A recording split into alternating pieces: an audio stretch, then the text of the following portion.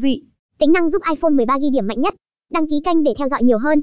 Theo các nhà đánh giá, khả năng quay vi, Cinematic Mode là điểm nhấn của dòng iPhone 13 năm nay. Trong sự kiện trình làng iPhone 13, màn trình diễn ấn tượng nhất thuộc về chế độ điện ảnh, Cinematic Mode. Mới đây, Apple đã giới thiệu 5 bước điều chỉnh riêng biệt cho chế độ này, tất cả đều dựa trên phiên bản vi của chế độ chân dung, hiệu ứng làm mờ nền nhân tạo trước đây. Đầu tiên, chạm vào khung hình để chọn đối tượng muốn được lấy nét.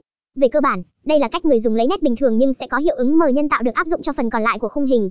Thứ hai, iPhone sẽ tự động chuyển đổi tiêu điểm dựa trên nội dung. Trong ví dụ, khi một người đàn ông rời khỏi khung hình, điện thoại sẽ tự động chuyển tiêu điểm sang cô gái và sau đó quay lại người đàn ông khi anh ta quay lại.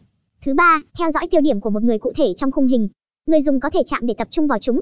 Thứ tư, sử dụng camera góc siêu rộng để phát hiện ai đó sắp di chuyển vào khung hình của camera chính và tự động lấy nét khi họ xuất hiện.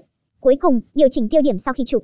Thực tế, công nghệ chụp ảnh chân dung xóa phông đã xuất hiện khá lâu, nhưng điều ấn tượng là Apple đã triển khai và tập trung vào trải nghiệm tổng thể.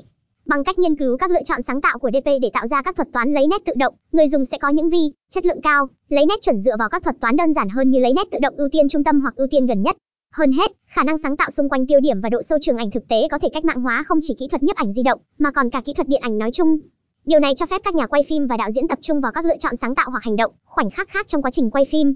Những cải tiến về camera nói chung khiến iPhone 13 Pro Max có sức hút mãnh liệt, nhưng chế độ điện ảnh mới là thứ khiến nhiều người ấn tượng nhất. Trong những chuyến du lịch, iPhone hoàn toàn có khả năng tạo ra những vi, chất và đầy thú vị. Tính năng giúp iPhone 13 ghi điểm mạnh nhất. Đăng ký kênh để theo dõi nhiều hơn. Theo các nhà đánh giá, khả năng quay vi, Cinematic Mode là điểm nhấn của dòng iPhone 13 năm nay. Trong sự kiện trình làng iPhone 13, màn trình diễn ấn tượng nhất thuộc về chế độ điện ảnh, Cinematic Mode. Mới đây, Apple đã giới thiệu 5 bước điều chỉnh riêng biệt cho chế độ này, tất cả đều dựa trên phiên bản vi của chế độ chân dung, hiệu ứng làm mờ nền nhân tạo trước đây. Đầu tiên, chạm vào khung hình để chọn tính năng giúp iPhone 13 ghi điểm mạnh nhất. Đăng ký kênh để theo dõi nhiều hơn. Theo các nhà đánh giá,